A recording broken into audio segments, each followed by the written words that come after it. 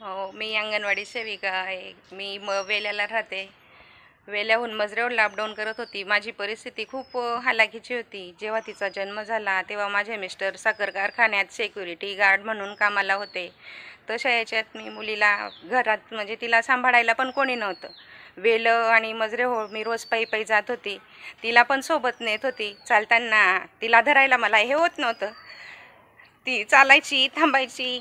परत मला सांगायची मला पकड. ते पण माझ्याकडनं शक्य होत नव्हतं. तसंच ती हे केलं.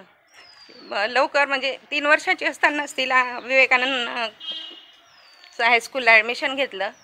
तिथे तिने दहावीपर्यंत केलं. दहावीनंतर अकरावी बारावी आपल्या इथे केलं. कॉलेजला. बारावी नंतर म्हणजे अकरावीला असतानाच तिने जिद्द केली की मला डॉक्टर व्हायचं आहे कारण माझी बहिणीची मुलगी ती डेंटिस्टला अस होती. त्याच्यामुळे तिला तिच्याकडून प्रेरणा भेटली की आपण पण डॉक्टर व्हायचं. पण आम्ही दोघं म्हणजे नकार होता आमचा.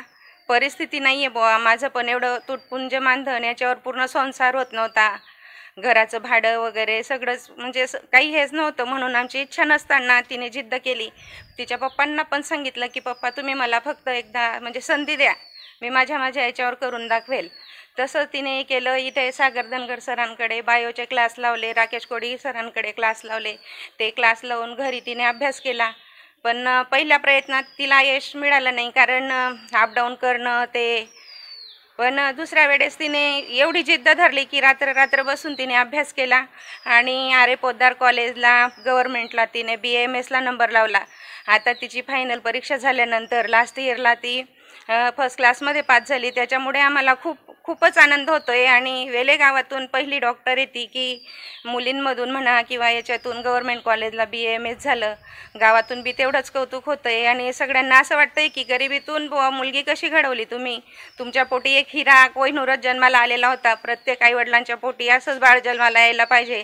अशा सगळ्यांच्या प्रतिक्रिया येत आहेत. त्याच्यामुळे खूप म्हणजे आकाशाला गवसणी घातलेल्यासारखं मला वाटतं आहे आणि खूपच आनंद होतो आहे आता अंगणवाडी सेविका म्हणून ओळख होती आता एका हो. डॉक्टर एका डॉक्टरांची म- आई म्हणून आपली ओळख ओळख निर्माण झाली. झाली. हो याबद्दल कसं वाटतंय मला खूप खूपच आनंद होतोय की आपण स्वप्न पण तसं बघायला मला हे नव्हतं की पूर्ण होणारच नाही असं वाटत होतं म्हणून मी स्वप्न पण बघत नव्हती पण जेव्हा मुलीने मला सांगितलं की मम्मी मी करून दाखवेल मला फक्त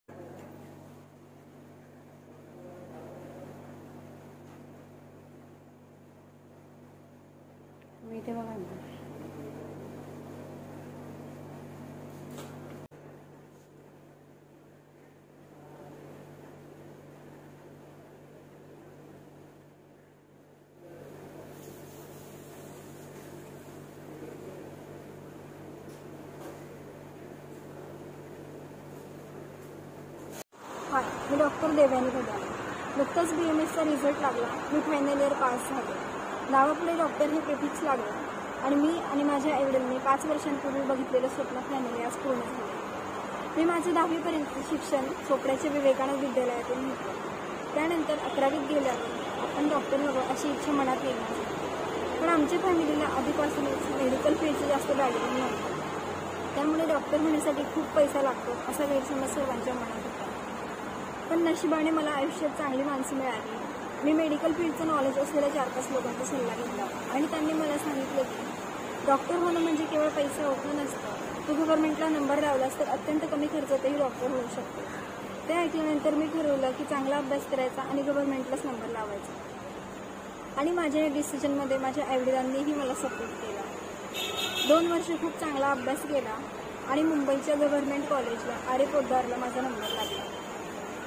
बी एम एसचं महाराष्ट्रातलं टॉपचं कॉलेज मिळालं.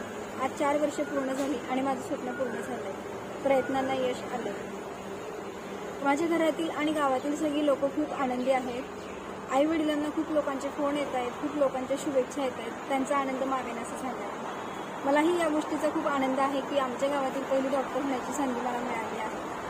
माझ्या या प्रवासात ज्यांनी मला मदत केली त्या सर्वांचे आणि स्पेशली माझ्या आईवडिलांचे मी मनापासून आभार मानते. आणि तुम्ही इथे बोलण्याची संधी दिली त्याबद्दल धन्यवाद.